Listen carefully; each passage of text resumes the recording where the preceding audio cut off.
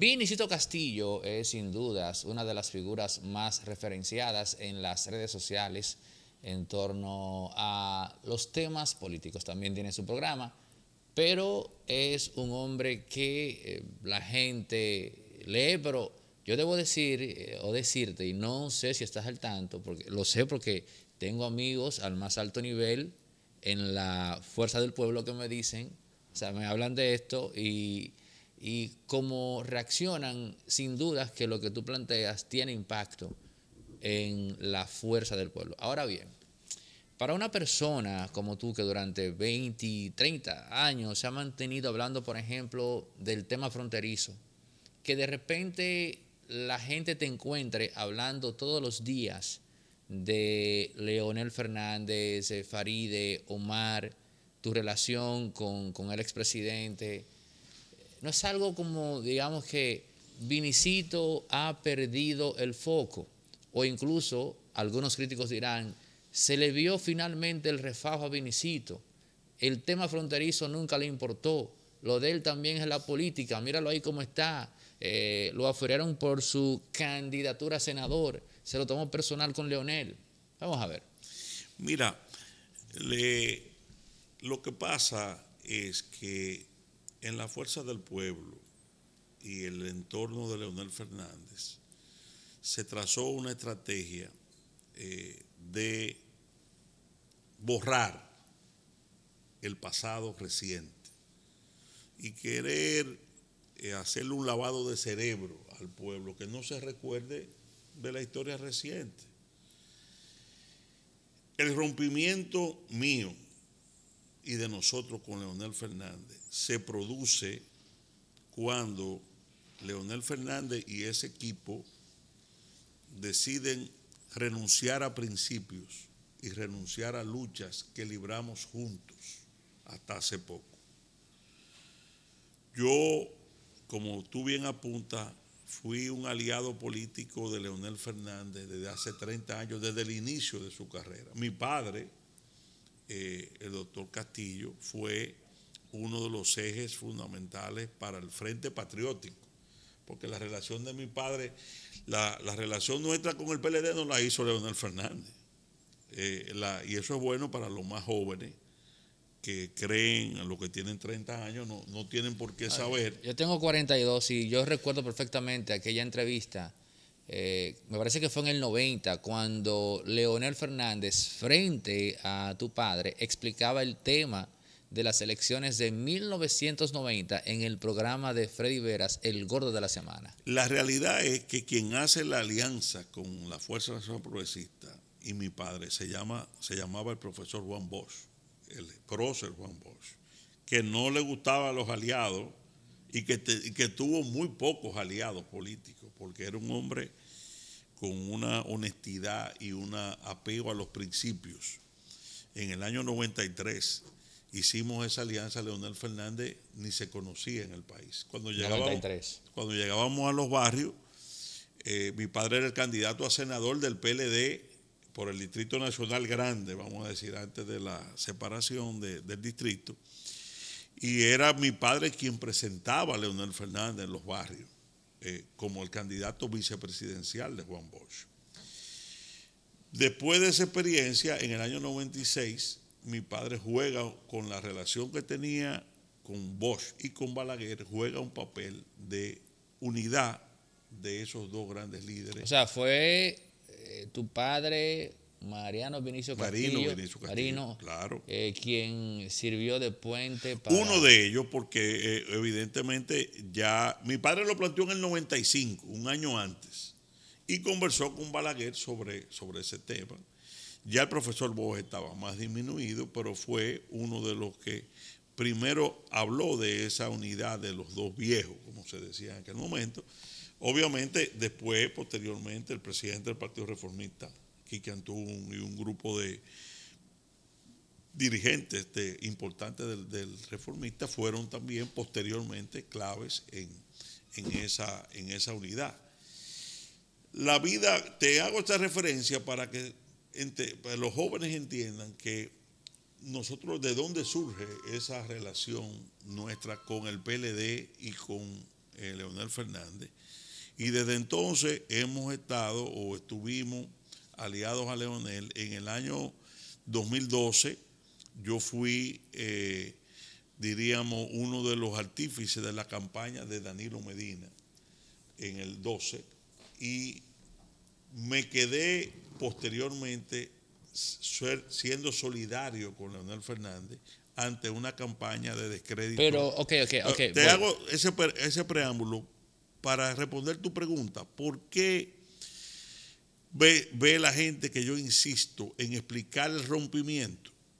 Porque, explicar el porqué del rompimiento. Porque en la Fuerza del Pueblo se quiso hacer una narrativa falsa de que esto era una rabieta de Vinicio Castillo o una insolencia de Vinicio Castillo porque no le dieron la senaduría del distrito. Esa fue el, eso es, la narrativa que ellos han tenido cuando eso es falso. Lo que pasa es que Leonel pactó y tenía previsto pactar con Danilo Medina y la cúpula del PLD, a la cual sacamos en este país juntos hace tres años como lo peor Omar Fernández recorrió hace tres años los barrios de la capital conmigo. ¿Y cuál era la consigna que nosotros llevamos a la gente? Se van, se van los corruptos, se van los bandidos del Danilato. Eso era lo que nosotros le decíamos con Johnny Ventura, que Dios lo tenga en gloria, que hizo, se va el Trujillo del 21. Entonces, ¿cómo podíamos nosotros ahora, tres años después, venir a salirle al pueblo dominicano de que no, todo lo que dijimos era nada y ahora esos que yo decía se van, ahora ven porque me van a apoyar. En realidad, el rompimiento nuestro con Leonel vino porque él pactó con los corruptos. Pero y Omar Fernández y Omar Fernández, al cual se lo dije personalmente porque estoy compensado de conciencia, porque hablé mucho con él, un joven con mucho futuro, le dije claramente, tú, tú has impactado en las juventudes, tú has impactado en la masa silente no partidarista, porque tú no estás ligado a un pasado oscuro de corrupción ni de hechos que te puedan cuestionar.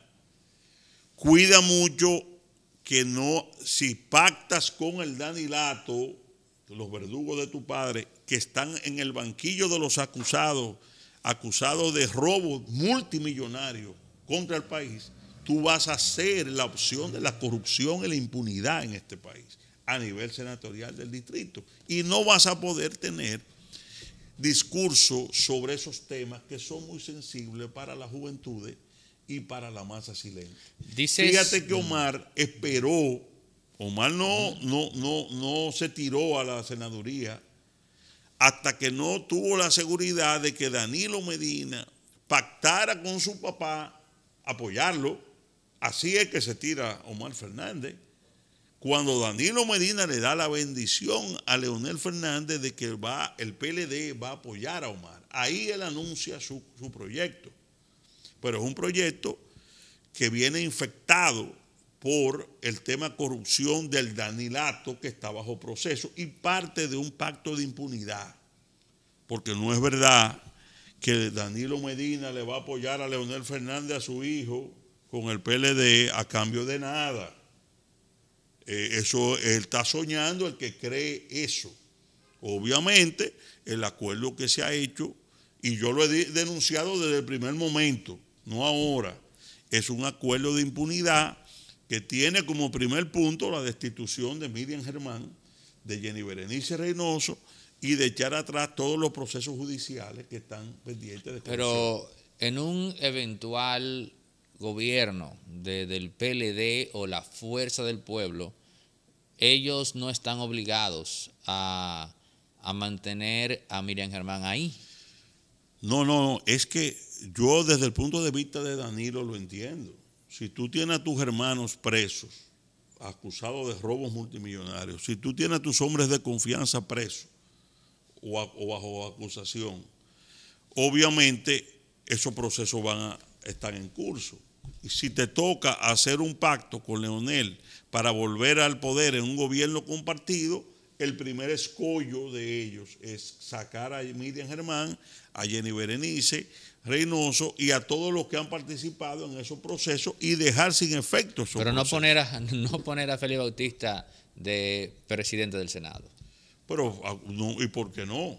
Es decir, desde el- la lógica de ello, Félix Bautista es un candidato que ellos están apoyando a ambos. Es decir, el, el PLD está apoyando a Félix Bautista con la fuerza del pueblo. ¿Cómo, En cómo- otras palabras, sería un premio a la corrupción. El que vote, mira, yo soy una, perso- una persona que le habla claro al país.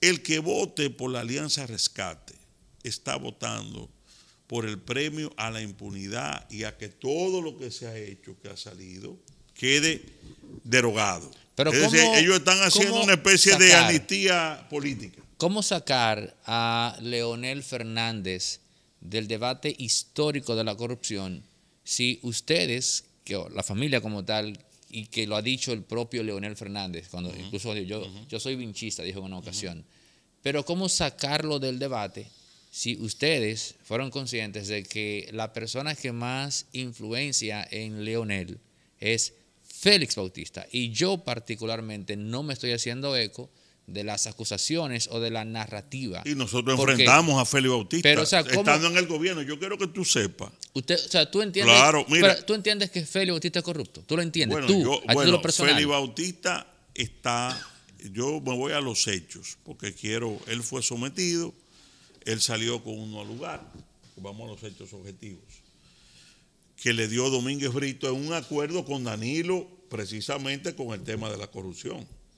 Eh, él tenía un proceso que Domínguez Brito le había eh, instrumentado, consiguieron uno al lugar y, y Domínguez Brito no apeló. Eso fueron parte de los acuerdos. Es decir, que él podría decir, "Ah, yo no estoy condenado a, ningún acto de corrupción, y, es verdad. Ahora, Estados Unidos lo tiene a él en una lista, eh, una lista que solo para personajes de, diríamos, de, índole mundial o de relevancia mundial, tildándolo de corrupto. Estados Unidos, no Vinicio Castillo, ¿eh? ojo.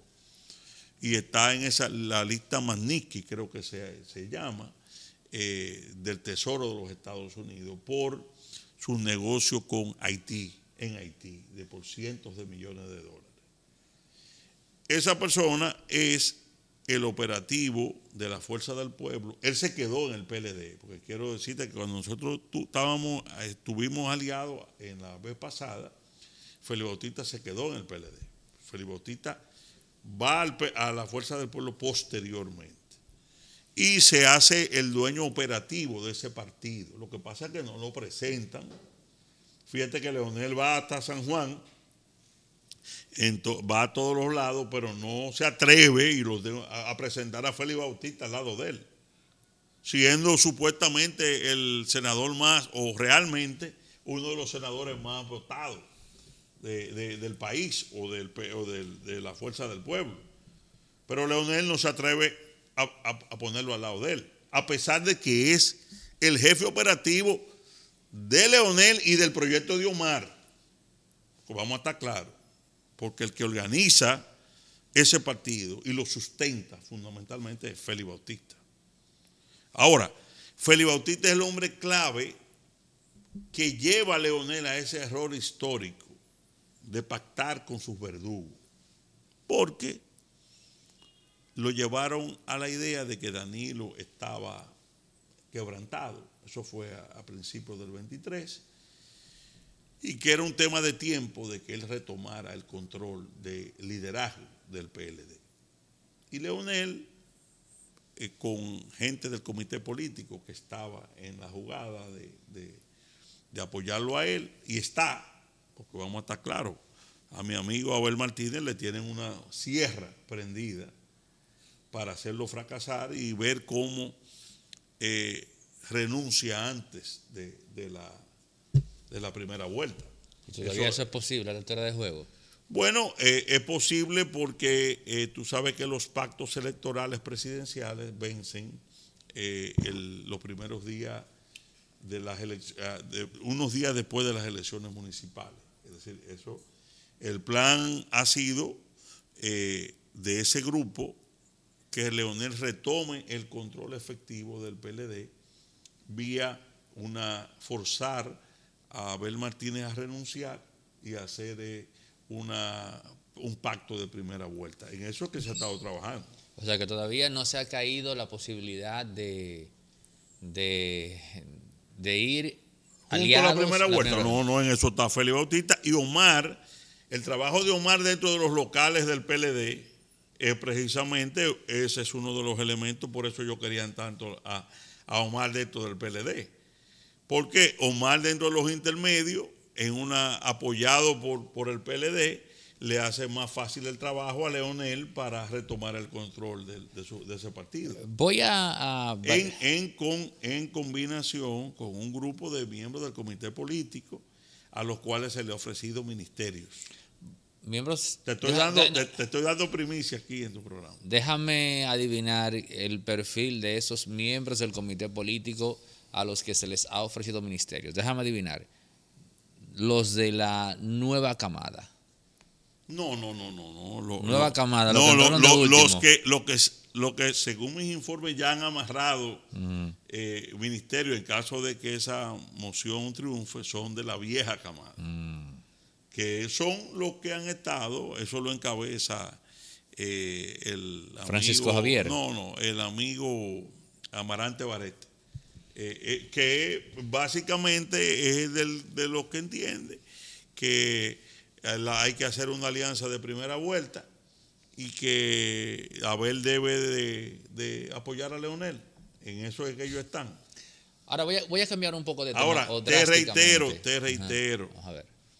Si fuera algo puramente político, tú pudieras decir, pero ¿qué tiene de malo? No. El problema es que detrás de ese acuerdo está tapar los crímenes económicos más grandes que se han cometido contra la República Dominicana en toda su historia, que son cientos de miles de millones de pesos que se robaron y que están en expediente. Y que obviamente es un acuerdo, por eso tuve que yo he sido muy duro. Porque si fuera un acuerdo político de conveniencia, tú puedes estar o no de acuerdo, bueno, pero eso es la regla democrática. No, es un tema de impunidad y de corrupción que una moción de poder tenga en su base, en, su, su origen, un acuerdo de impunidad, para mí es algo muy peligroso contra el país. Voy a cambiar un poquito eh, de tópico. Recientemente la sociedad dominicana fue sorprendida por la reaparición de Ramoncito Báez Figueroa. Ustedes en la primera etapa de, ese tema fueron abogados. De, muy buenos amigos desde muchachos. Entonces, eh, actualmente, ¿ustedes aún siguen siendo abogados o asesorando a Ramón no, Nosotros no, no estamos ahora mismo representando a nuestro amigo Ramón Báez Figueroa. De hecho, yo tengo un buen tiempo que no hablo ni converso con él, ni lo veo. Eh, él está en su derecho, pero nosotros no hemos querido opinar de nada de lo que se ha planteado porque por razones profesionales y éticas nosotros no, no tenemos por qué opinar sobre algo que, que de lo cual ya no estamos apoderados y él tiene su abogado. Ahora, humanamente, para ti era previsible, para ti en particular, que en algún punto él iba a retomar esta lucha yo respeto lo que él haga y es mi amigo personal y lo será siempre y no de ahora ni de cuando fuimos sus abogados. Y Ramoncito me vio a mí, muchacho, porque él era compañero de Pelegrín en la Salle. Es decir, eh, y su papá, eh, amigo de mi papá de toda la vida. Es decir, eh, pero yo no quiero emitir ninguna opinión ni juicio de valor acerca de lo que él está planteando ahora porque entiendo que no es lo correcto porque yo fui su abogado y cualquier cosa que yo diga eh, eh, de una forma u otra no, no es lo correcto yo emitir ningún Domingo actual sobre Contreras, Carolina Mejía. Volvemos al tema de la alianza. Tú, o sea, tú ves a Domingo Contreras con no, posibilidad Domingo Contreras no va para ninguna parte. Eso, eh, Carolina va a ganar aquí con más de un 60%. Eso lo saben aquí hasta los chinos de Bonao. Si ocurre. Y Omar va a ser derrotado también. ¿Pero por quién? Por, pues, yo soy candidato y el del PRM, y veremos los tres ahí. Porque oye, ¿qué es lo que pasa? Omar se le ha construido una, un mito de que ya ganó. Estamos a seis meses de las elecciones. Y apenas yo, nosotros tenemos, eh, la alianza la formalizamos hace tres días, cuatro días con el Partido Reformista. Omar tiene obviamente un año haciendo campaña, un año que él inició su proyecto.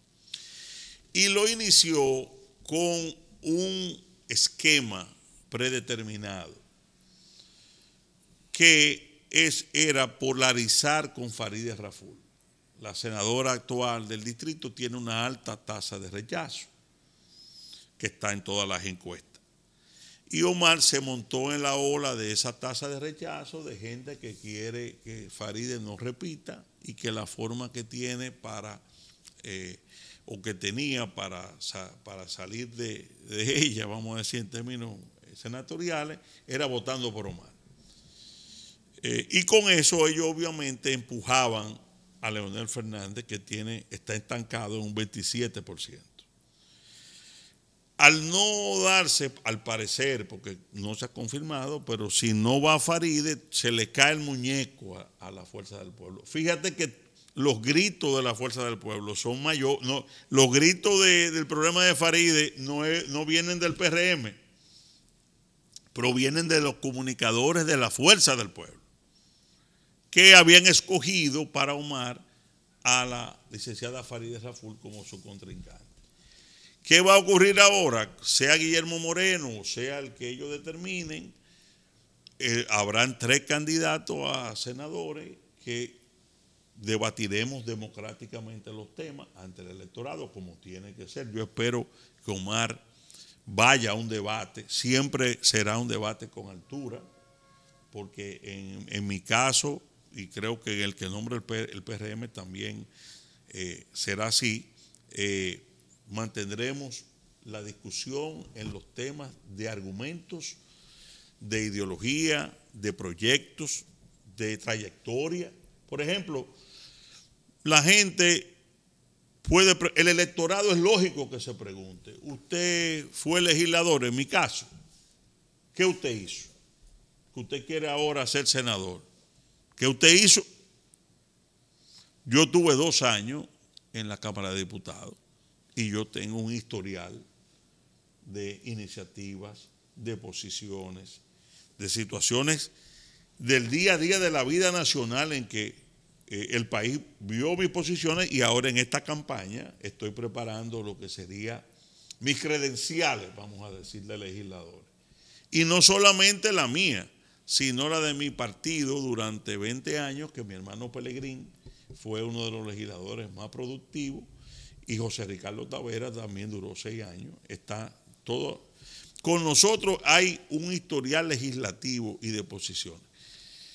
Esa misma pregunta, el electorado completo y sobre todo los más jóvenes y los, la masa silente, deberá preguntarle a Omar Fernández, tú tienes tres años, en la Cámara de Diputados, qué tú has hecho trascendental, cuáles han sido tus proyectos trascendentales, cuáles han sido tus posiciones, eh, porque no es solamente el proyecto, sobre cuáles han sido, qué tú piensas sobre los temas fundamentales del país. Porque Omar ha tenido una línea de cero confrontación y de no asumir posiciones sobre temas conflictivos para crear, obviamente, una, imagen de, favorabilidad.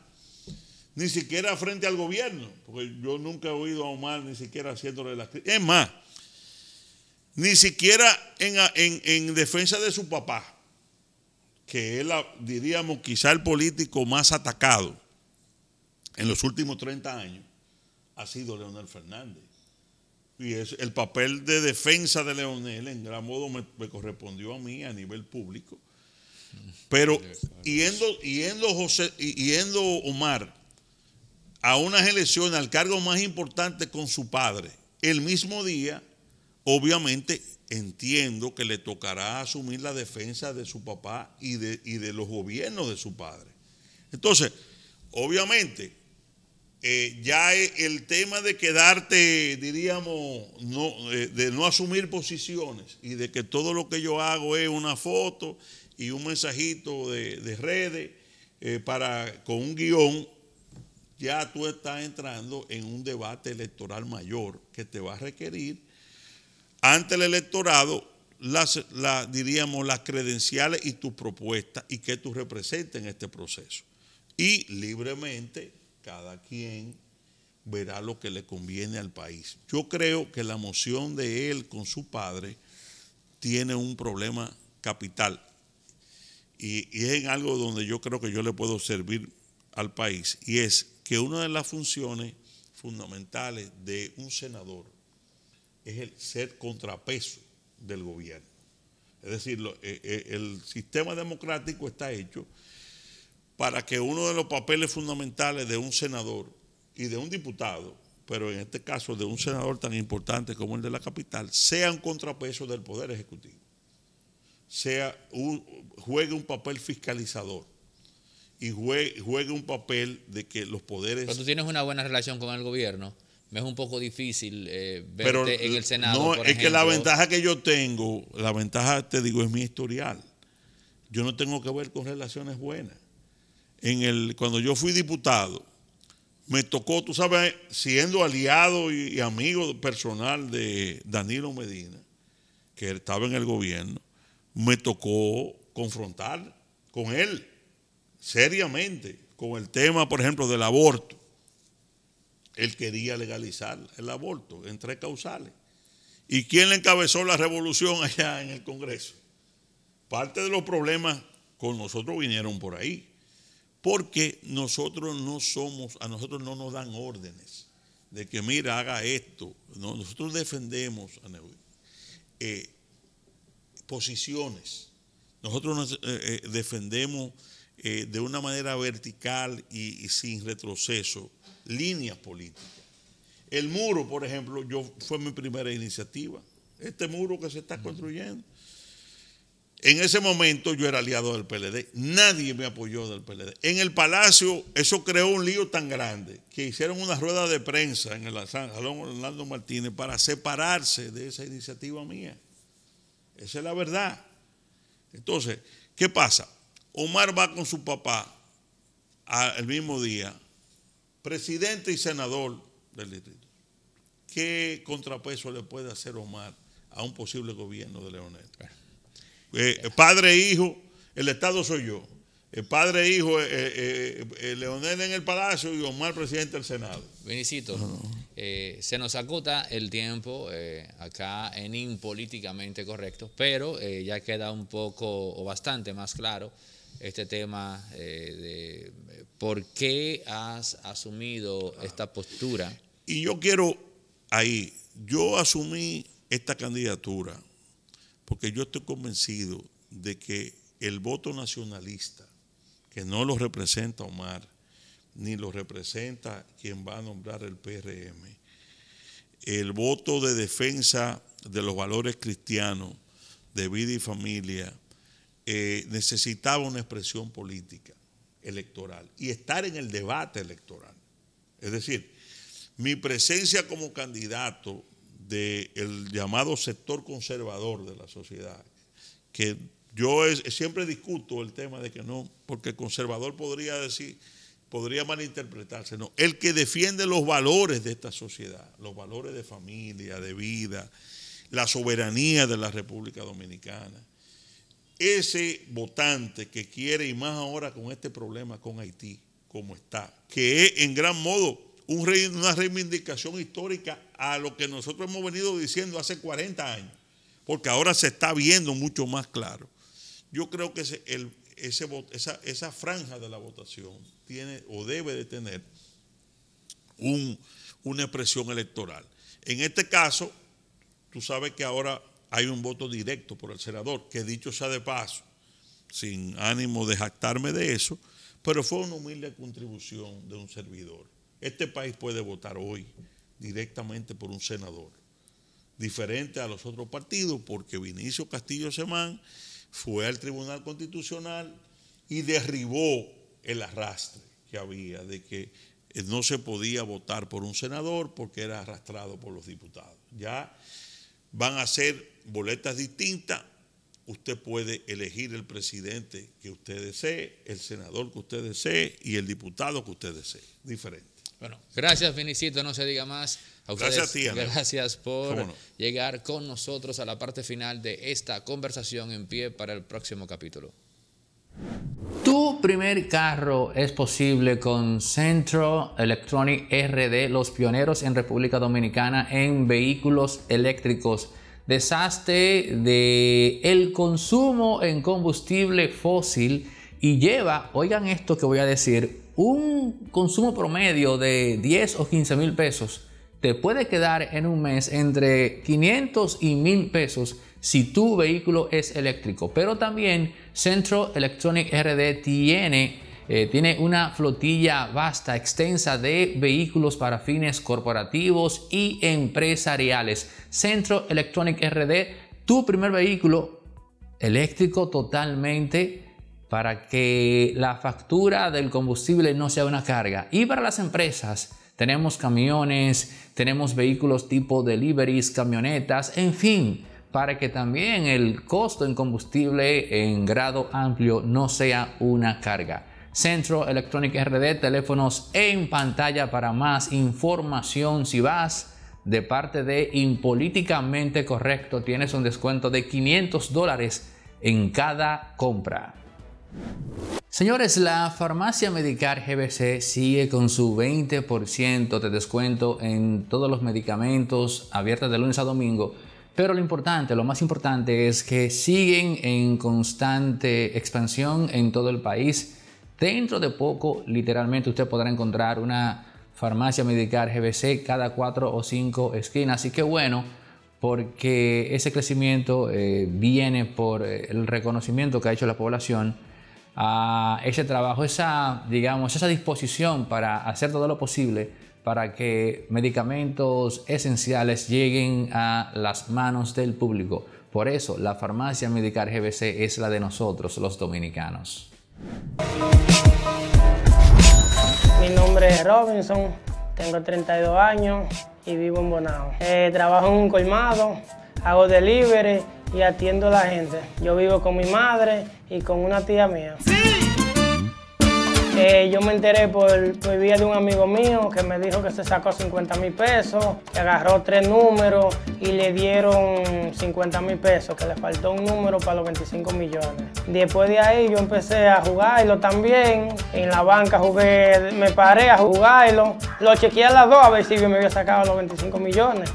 Entonces ahí ve que no me saca los 25 millones, lo ir para el código del sábado. Yo soy un cliente fiel de la Garra 4. Eh, yo me enteré porque un amigo mío me dijo que se habían sacado el millón aquí en Bonao. Entonces yo le dije a él que yo tenía un boleto. Cuando llegué a mi casa, ese era. Cuando vi que era yo, me puse muy feliz porque me había sacado un millón con los tedón. Y llamé a mi madre de una vez y se lo dije. El objetivo mío es, con el millón de la Garra 4, ayudar a mi madre a construir un solar que ella tiene y eh, que jueguen en la Garra 4, que es algo confiable, que es algo de verdad, que con solo 25 pesos se pueden sacar 25 millones y un millón también los sábados gratis, como yo me lo saqué también. Yo me gané un millón gratis con los Tedón, estoy muy contento. Bien, de los.